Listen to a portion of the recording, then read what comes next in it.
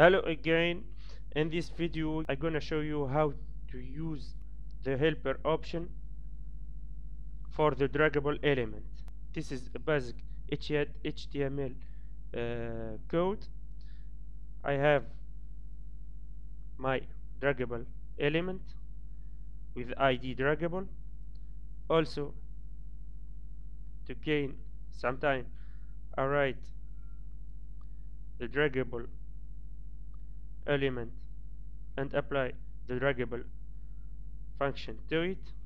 Also I call the jQuery and jQuery UI file and I call the jQuery UI CSS file.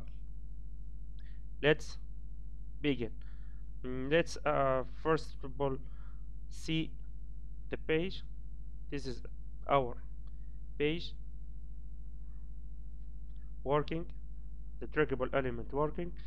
So let's begin by apply the helper options. I have helper. Uh, first thing let's uh, begin by uh, definition of the helper. Uh, what is helper? Helpers are elements that are dragged instead of the original element they are useful when you want to leave the original element in place but still allow the user to drag something from the element to somewhere else in the page. Let's see this in action. The helper option could take three possible value. It could take the original option value or the clone or it could take function. A function. This is the original value is the default one. As you can see here this is the default the clone uh, it cloning an element from the draggable element and function uh, function. It is a function that take uh, an event as a parameter and return the element to be uh, cloned uh, programmatically with the code.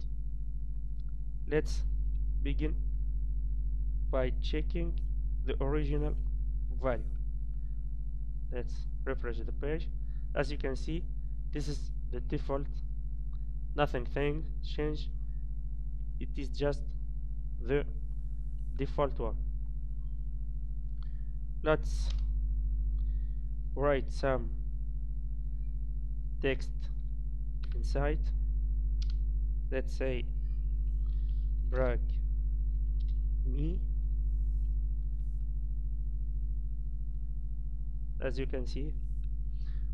So let's try the clone value.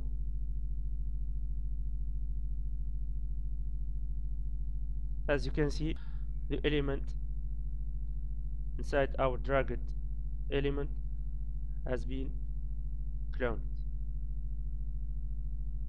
I can add the revert to draw to add some animation to it. As you can see it look like uh, for example in the web we found an example of color palette.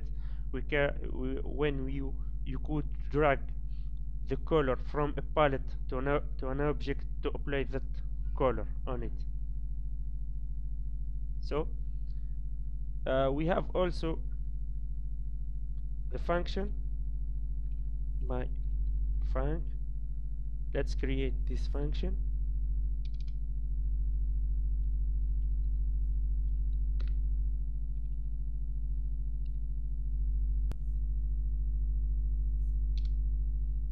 As I said it take an event as a parameter and return our dragged element. Let's remove it from here and add it here. It's very simple.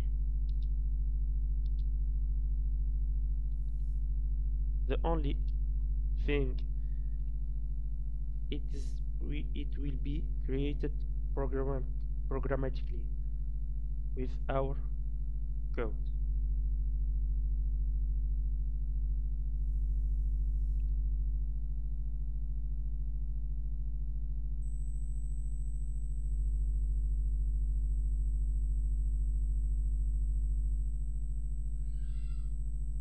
let's see.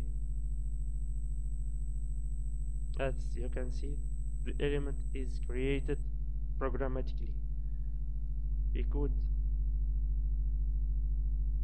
add style to it.